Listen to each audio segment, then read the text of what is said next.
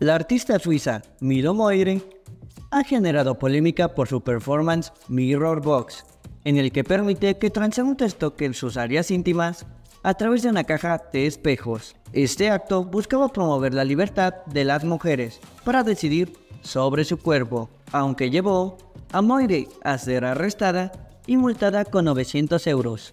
Moire, conocida por su arte provocador y transgresor, también ha realizado actos que desafían los límites sociales y artísticos, consolidándose como una figura controversial en el arte contemporáneo.